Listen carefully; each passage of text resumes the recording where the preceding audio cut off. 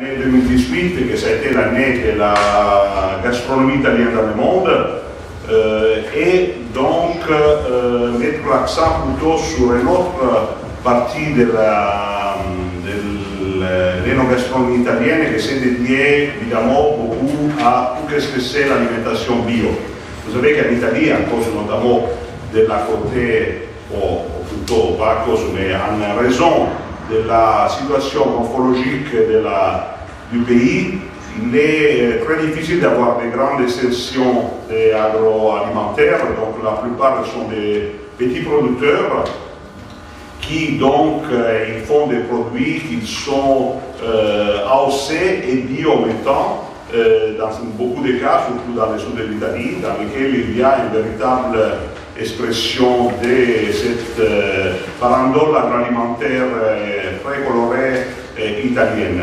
Euh, nous allons donc penser d'organiser en collaboration avec euh, l'entreprise euh, Mandomangi de Lyon et grâce notamment à la mairie du premier arrondissement, de faire ce premier village bio dans la plus belle place de Lyon, la plus bio de Lyon, la plus bio de Lyon, voilà, la place avec les, beaucoup plus d'arbres qu'il y a sur Lyon, ça on pourrait dire, parce que les autres places sont pratiquement vides, il y a juste un statut de Louis XIV, de Louis XIV, voilà, voilà.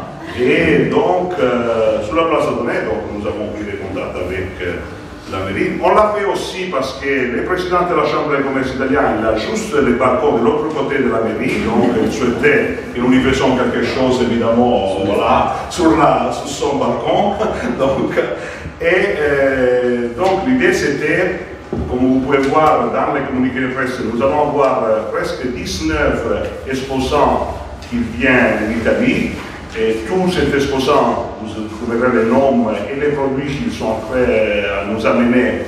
Mais l'idée, c'était pas de faire un village qui est dédié à la, seulement à, euh, à les produits bio sur le côté gastronomique, mais de faire un village très animé. Vous voyez, euh, vous trouverez en, en quatrième page du dossier tout ce qui va être fait à la place Satonnet. En particulier, l'idée, c'est d'avoir toujours le soir euh, une petite fête bio dédiée notamment à, la, à, toute la population lyonnaise et en particulier à les habitants du premier arrondissement avec des apéritifs dînatoires, de la musique. Vous allez avoir un concert sous de la Lina Jones. Vous allez avoir dimanche une branche Italo Bio qui est organisée. Tout est fait, disons, pour élargir au maximum plutôt la côté sociale et dans un cadre évidemment des produits bio, comme vous pouvez voir, vous amenez quelques châtillons devant euh, nous, qui sont évidemment que des produits qui ont été organisés sur la côté bio ou des produits qui sont AOC. Donc moi je passe la parole juste une seconde à, avant de passer la parole juste une seconde pour vous dire que nous allons avoir notamment une association qui c'est Conscience et Impact écologique, donc la directrice est avec nous, qui, qui est co-organisatrice notamment et il nous, parlera, il nous parlera évidemment de cette association et qui sera présente avec une conférence, parce que comme je vous disais, l'idée c'est pas de faire un marché sur la place Adonai, mais de faire des animations avec lesquels il y a des produits enogastronomiques italiens, pas seulement italiens, d'exception. Donc on aura aussi du street food le soir pour permettre aux gens qui viendront. C'est une petite fête de printemps et ça nous permet évidemment d'animer comme c'était le souhait de, de, de, la, de la place, d'animer un petit peu au début de la, du printemps cette, cette magnifique place je passe la parole à l'Emerle. Dès le premier arrondissement. Voilà.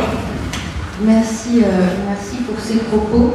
Euh, je voudrais tout d'abord euh, vous dire le plaisir que j'ai de vous accueillir pour cette conférence de presse dans la maison commune, qui est la mairie du premier arrondissement, et puis d'accueillir sur la place Satonnet à partir de jeudi, à partir du 4 avril, ce village autour de l'Italie, autour du autour autour des produits, autour de la cuisine et du bien manger italien. Et comme, comme vous l'avez dit, avec également des temps de rencontres, de discussions, de débats, des temps musicaux aussi.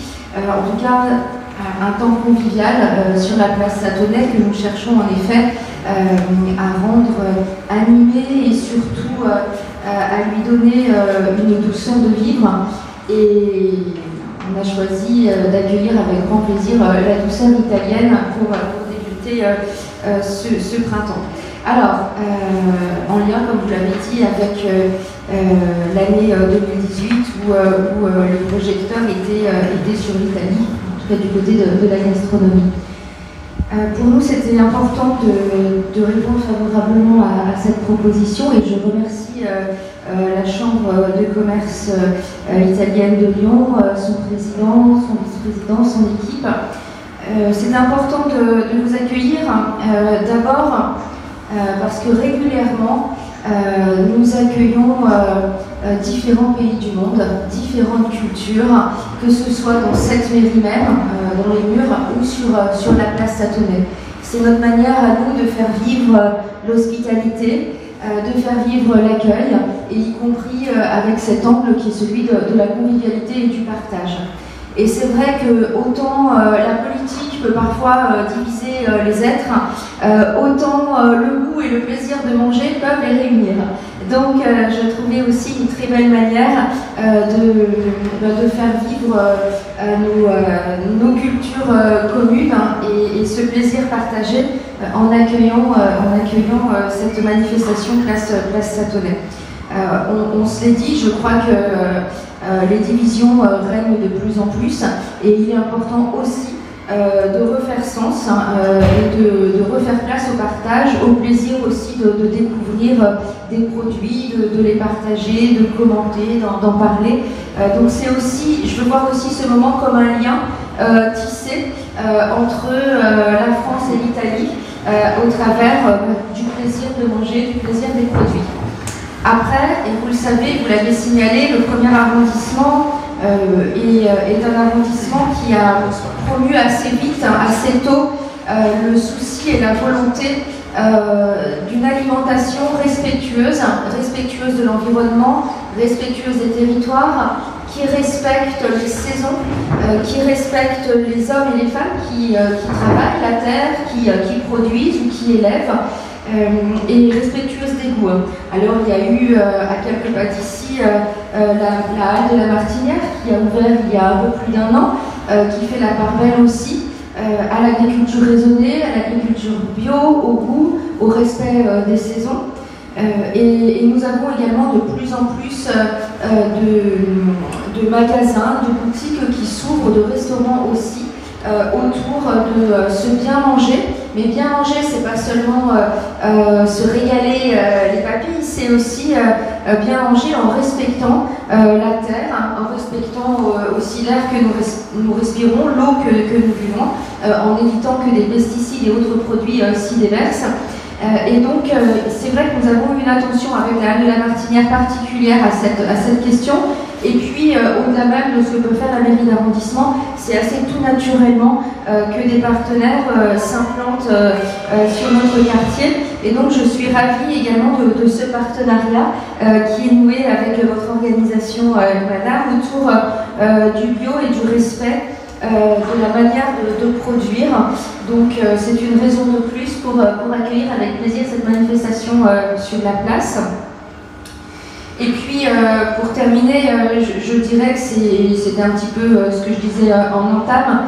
c'est une manière aussi de faire vivre la convivialité. Alors, on le disait un petit peu en, s'amusant, c'est vrai que euh, Thierry, euh, Thierry Bonnet, je le connais d'abord comme habitant euh, du premier arrondissement. On s'est d'abord croisé sur la place Satonnet dans ces circonstances, et puis après dans dans ses activités de consul, et puis aussi dans son implication au sein de la, Chambre de commerce italienne. Mais on a aussi souvent échangé donc sur, sur la place Satonnet, et il y a cette volonté de lui donner euh, cet aspect convivial, de réappropriation euh, par les habitants. Et, c'est une belle occasion que vous nous offrez là. Euh, donc c'est pour toutes ces raisons que c'est avec grand plaisir que, que, je vous accueille. Félicitations. Et puis je reviens jeudi en fin d'après-midi, donc je serai là pour le premier apéritif dînatoire sur la place Satonnet, et puis notamment jeudi également, ou samedi pardon, ou un temps, un temps spécifique. et donc évidemment je vous assure ma présence avec grand plaisir. Merci. avant de passer le micro à la présidente de la Chambre des commerces italiens, donc euh, Maître Thierry Bonnet, je voulais euh, vous remercier deux personnes qui sont là et qui sont aussi à côté de tout ce que c'est l'agroalimentaire italien, et notamment euh, l'agroalimentaire, les excellences agroalimentaires italiennes, c'est Madame Boba, évidemment, que c'est une des responsables d'un important supermarché, il n'y a pas besoin de faire la publicité, sur Lyon, mais qui a choisi notamment de mettre en avance notamment tout ce que c'est les produits italiens et surtout les produits italiens d'excellence et aussi bio. Et nous avons aussi un chef très très renommé, que c'est Augusto Barros, que c'est une des chefs principaux que, principal que nous avons évidemment dans les quartiers. Il est les propriétaires et aussi évidemment le chef, lui il est d'origine euh, brésilienne, il est italien évidemment, à travers sa maman. Il est une des chefs évidemment les plus présentes dans tout ce que c'est la cuisine italienne dans les premières, dans son restaurant, pas loin évidemment de la place Satonnet. Voilà. je passe donc les mots à la présidente de la Chambre des commerces italiens, Thierry Bonnet. Merci Annie euh, bonjour à tous.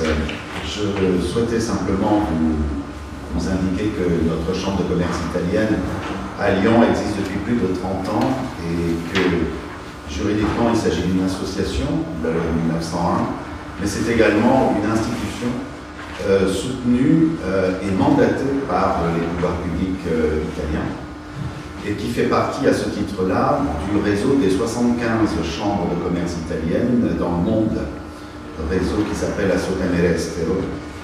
Et nous avons depuis plus de 30 ans aujourd'hui de cesse que de renforcer les échanges franco-italiens, bien entendu au tout premier chef les échanges économiques, mais aussi à célébrer, bien entendu, euh, le Made in Italy, le Made in France, réciproquement, et développer également les échanges culturels et, comment ne pas le dire euh, en ces temps un petit peu compliqués, euh, l'amitié franco-italienne.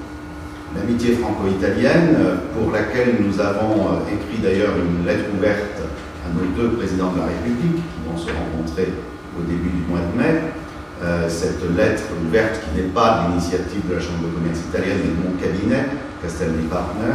Vous la trouverez, si vous voulez la signer, sur Frantalia, frantalia.eu, une lettre ouverte en italien et en français et qui rappelle à nos chefs d'État l'importance fondamentale de l'amitié franco-italienne et du patrimoine commun que nous avons euh, tous ensemble. Donc euh, aujourd'hui, nous sommes dans notre cœur de métier, nous organisons très régulièrement un grand nombre de villages, villages italiens, qui donnent l'occasion à des producteurs que nous allons chercher euh, et sélectionner de faire connaître leur extraordinaire production euh, en France. De la même manière, dans l'autre sens, nous emmenons régulièrement des artisans, des industriels, des entrepreneurs en Italie au contact de, producteurs. Donc euh, je me réjouis en plus, en tant qu'habitant du premier arrondissement et fidèle administré de Nathalie Perrin-Gilbert, je me réjouis que cette place Satonnet accueille ce, village parce que ici le village c'est tous les jours. C'est tous les jours. On a une présence italienne d'ailleurs assez, assez remarquable euh, vers la rue de la Martinière, pour parler des derniers arrivés, qui ne manquent pas de dynamisme et de, de qualité dans leurs produits, mais nous avons aussi, de la montée de la Grande Côte, une autre épicerie italienne. Bref, ici, c'est vraiment l'ambiance village tous les jours et je ne doute pas que cette manifestation, va remporter un, très grand succès. Voilà. Je voulais, avant qu'on vous fait voir un petit vidéo, parce que nous avons réalisé une série de vidéos, notamment sur la place Tonnet, et sur qu'est-ce que c'est, c'est une très très brève vidéo que vous trouverez notamment sur le site. Euh, je voulais, avant de le lancer, je voulais remercier, on a ici présente la présidente de l'association euh, In Vino Veritat, avec lesquels ils s'occupent notamment de mettre des dégustations de vin, notamment à côté des lieux magnifiques qui sont à l'intérieur de Lyon. Donc je tiens à la remercier. Et on vous fait voir cette brève vidéo que nous avons réalisée euh, sur la place Adonai, justement pour euh, encore plus mettre en avance et promouvoir euh, la vidéo.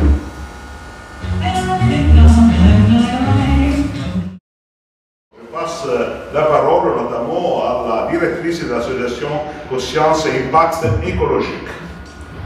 Merci beaucoup. Alors, bonjour à tous. Euh, je suis la directrice de l'association Conscience écologique, qui est une association euh, d'éducation à l'environnement et d'accompagnement à la transition écologique. Donc, en fait, notre association est basée à Lyon, mais nous avons un rayonnement qui est euh, régional, voire extra-régional depuis quelques semaines. Euh, nous, notre activité en fait tourne vraiment autour de l'éducation et la sensibilisation de tous les publics, c'est-à-dire que ça va des enfants jusqu'aux personnes âgées, en passant par les particuliers et professionnels. Notre objectif est vraiment de sensibiliser à des causes environnementales, aussi diverses et variées qu'elles peuvent être, et surtout sensibiliser à des enjeux, notamment de société, liés à l'écologie. Donc aujourd'hui, nous, nous, faisons partie euh, du programme euh, Italo Bio, tout simplement parce qu'il est important pour nous de participer à une activité qui va vraiment prôner euh, une culture et aussi le bien manger dont on parlait tout à l'heure. Il est important à nos yeux de pouvoir démocratiser aussi euh, le bio, dire et montrer au public que ce n'est pas que pour une certaine catégorie de personnes et que c'est accessible à tous, et quelle que soit l'origine des produits. Nous sommes très très très impliqués dans la mise en valeur des petits producteurs, de vouloir euh, démontrer qu'il y a vraiment un savoir-faire et réapproprier le public à ces enjeux-là. Nous, en fait, notre activité est vraiment de pouvoir montrer à un public très éloigné de l'écologie que euh, leur consommation quotidienne est liée à, tous ces enjeux-là et qu'ils peuvent participer à la transition écologique de demain. Donc nous, euh, pendant l'événement, nous allons proposer euh, une conférence et un stand de sensibilisation. L'idée, c'est de montrer vraiment au public que euh, cet, événement est intimement lié à l'écologie et euh, qu'il y a vraiment un réel parallèle entre l'activité, entre la gastronomie italienne et euh, le bio, l'environnement et tout ce qui va être les enjeux environnementaux. Voilà. Euh, donc, euh, vous avez, comme, euh, comme, je vous disais, les, fils conducteurs de ces quatre jours sur la place Autonnet, c'est la place, l'art, le bio, la bonne, évidemment, tout ce que c'est l'agroalimentaire et la musique notamment. Et donc, je passe maintenant la parole à Gianluca Stefani, qui c'est le fondateur de Mando Mangi. Merci, Sr. Fracasso. Donc, euh, c'est le plaisir qu'on a organisé cet événement avec la Chambre de commerce italienne de Lyon. Euh, parce que pour les raisons vues auparavant, l'Italie c'est parmi les, premiers producteurs bio d'Europe. Euh, et les producteurs bio, euh, normalement, c'est des petits producteurs qui n'ont pas forcément les moyens euh, pour aller à l'étranger. Et c'est dommage parce que souvent, c'est l'excellence. Donc, on a, décidé de créer effectivement cet événement qui puisse donner la visibilité à ces producteurs et en même temps répondre à la demande qu'il y a parmi les consommateurs, qui c'est la, tendance de la recherche des produits d'excellence, des produits bio euh, et de la traçabilité alimentaire. Donc on a organisé cet événement avec euh, un côté convivial, avec de la musique, avec des conférences, avec des associations. On a fait également un jeu de concours avec un glacier de Lyon qui s'appelle Glacier Unico, sur les pans de la Farus. Donc on a mis en place plusieurs activités effectivement pour rendre la chose la plus démocratique et accessible par tous. Donc, euh, qu'est-ce que c'est Mandomanji? Donc, moi, j'ai lancé Mandomanji il y a un an, à peu près, parce que j'avais vraiment la volonté d'adresser la consommation de la gastronomie et de la cuisine italienne en France et à l'étranger en général vers la qualité. Parce qu'effectivement, la cuisine italienne, c'est parmi les cuisines plus populaires du monde, mais c'est euh, pas trop, c'est pas encore très bien connu. Euh, donc l'idée c'était vraiment de faire connaître en France l'excellence agroalimentaire italienne à travers des événements et des autres activités qu'on compte de mettre en place également avec la Chambre de commerce italienne. Donc voilà, c'est tout. Je repasse la, les mots à M. Fracasso. Voilà. Euh, je voulais juste dise deux mots sur les deux euh, activités musicales, oui. Oui, bien sûr. Donc, on a euh, une chanteuse soul qui s'appelle Elina Johnson, qui a déjà joué au jazz, Festival Jazz de Vienne. Et on a également un DJ italien qui s'appelle Angelo Ferraro, donc, euh, euh, tous les soirs, à partir de 19h, on aura une petite rencontre des musiques euh, sur, sur place directement. Et c'est gratuit, donc c'est ouvert à tout, à l'égout public, c'est absolument Oui, tout, tout est, toujours, disons, tout gratuit. Les commerçants que vous trouverez seront notamment, ils permettront de faire des dégustations complètement gratuites des produits agroalimentaires italiens. Et comme je vous disais, il y a aussi les street food. Nous avons travaillé en pleine association avec l'association des commerçants et des cafés et bars qu'il y a sur la place Atonée. Donc, ils participeront de façon évidemment directe, dans le sens que les gens se déplaceront euh, ils peuvent aller servir de la place pour aller et prendre quelque chose dans le bar à côté. L'idée, c'est toujours de faire quelque chose en mettant tout le monde ensemble et ne pas évidemment séparant, comme l'a dit justement euh, Madame la maire, les situations. Donc, l'idée, c'est de faire quelque chose pour euh, la, les, les, quartiers de la mairie du Première, pour les bio et la sensibilisation vers tout ce que c'est les produits évidemment bio et aussi pour permettre à des gens d'avoir des soirées de printemps très intéressantes, notamment sur la plus belle place de Lyon. Voilà. Euh, S'il y a des questions, nous sommes à votre disposition. Et après, on vous a permis de goûter des chocolats italiens qui sont très particuliers, aussi bio.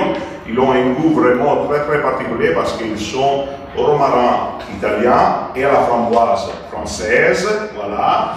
Et le chocolat, évidemment, il vous permettra d'avoir une petite euh, touche finale de cette magnifique, magnifique évidemment, événement que nous allons réaliser à partir de jeudi sur la place Saint-Omer j'ai beaucoup euh, apprécié la manière dont vous avez cherché euh, à présenter l'événement euh, aux commerces autour de la place, aux commerçants locaux. et en fait, c'est pas la chambre de commerce italienne et Mandomangi qui arrive et qui s'installe. Il y a vraiment eu ce souhait de prévenir, d'associer. vous avez aussi, à travers le jeu concours dont vous parliez, associé un glacier la montée de la Grande Côte. Voilà. Il y a vraiment eu ce, ce souhait, et vous citiez tout à l'heure un restaurateur, notamment. Voilà.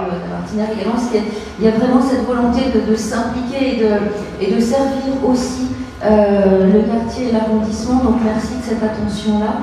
En tant qu'arrondissement, j'y suis évidemment euh, sensible. Et puis, euh, ben, bravo pour ces deux initiatives, à la fois autour du, bio et, du bien manger. Et c'est vrai que pendant un temps, peut-être que la cuisine italienne a été, alors c'est moi qui vais le dire, hein, c'est plus facile, victime du succès du, on va dire de la pizza, voilà.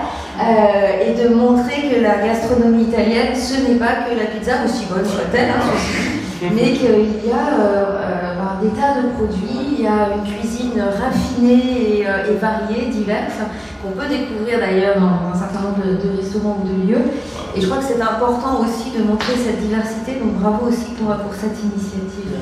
Voilà. Et donc, je vous invite à écouter ça. Tous les soirées, tous les quatre soirées seront en direct toujours sur Facebook. Nous avons ouvert un canal Facebook dédié, donc, qui s'appelle Italo Bio et Plus. Et même maintenant, disons, notre petite conférence de presse, c'est en direct, notamment sur Facebook. Donc, voilà.